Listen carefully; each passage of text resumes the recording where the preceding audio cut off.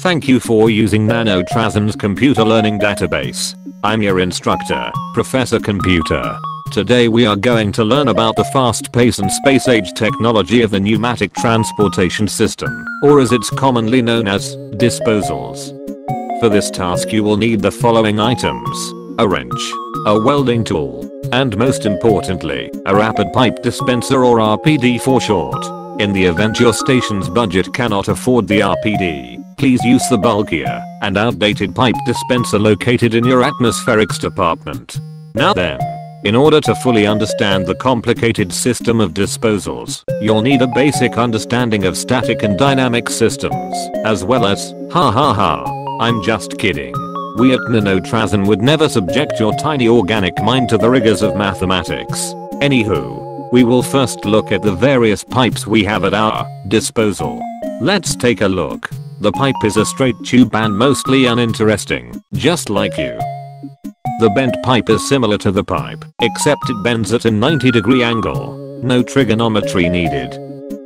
The junction pipe is a bit more complicated. Please take note of the arrow on the pipe. This indicates the direction the disposals will flow.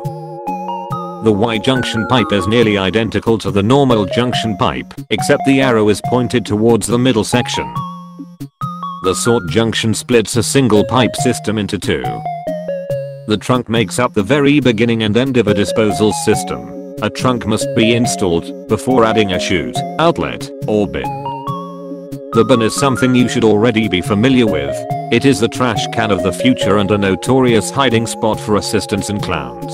The outlet is the very end point of your disposal system. It will violently expel anything that comes through it. The chute is like the bin, except there is no need to climb inside. Simply toss in whatever you want to transport but be careful. If you walk into it, you will find yourself in a river of garbage as you flow through the disposal system. Now let's get down to installation. Remember to remove any floor tiles before you work. Humans are clumsy and may scuff our expensive metal piping so be sure to cover up your work when you are done as well. Moving on. If you are using the RPD, check under category and select disposals. Once that is selected, look down at the bottom for a robust selection of pipes.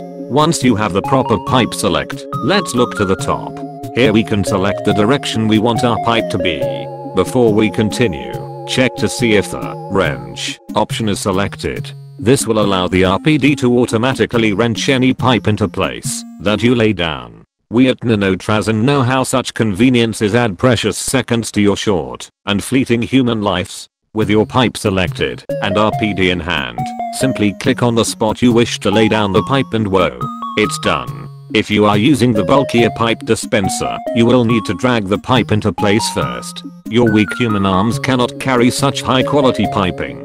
Once it's in position, you must wrench it in place. Whoa there, tiger, you're not done yet. Next you will need to use a welding tool. Before you start, do you have eye protection? Using a welding tool without proper protection may result in blindness and possibly death. Don't be a great-eyed gari. Wear your eye protection. Now then, use the welding tool on the pipe to finish securing it and bam, you're done.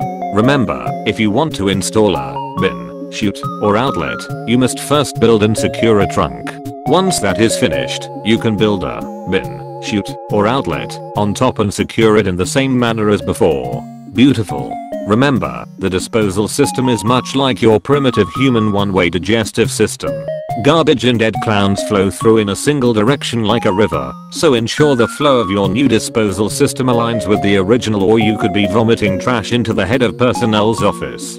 One last thing. Disposals are not a toy. They are to be used to transport cargo, garbage, dead assistants and other assorted detritus. Abuse of this system could result in dead, but don't just take my word for it. Okay, okay, I'll fucking read it. Uh, god damn it. Hi, I am Randolph P. Checkers Esquire, Quartermaster Grade 4. I am here on behalf of our mutual beneficent employer Nanotrasen to inform you that playing in disposals isn't cool. It's not cool. It is, in fact, very dangerous. Disposals are not a toy. Disposals will cause you harm. Disposals are where garbage goes.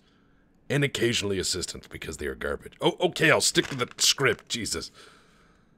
I'm telling you this today as part of a NT mandated public service announcement. Also because I'm court ordered to after having accidentally destroyed something with fire once or twice. Not my fault, but no. No, they don't believe you if you don't have a lawyer. Which I am. And they didn't believe that either. Oh well. Eh, stay out of disposals or whatever. I'm out of here. Thank you for using Nanotrasen's educational database. In the event you lack the funds to purchase this course, we are now accepting indentured servitude as payment. Isn't that great? Stay safe out there, spaceman.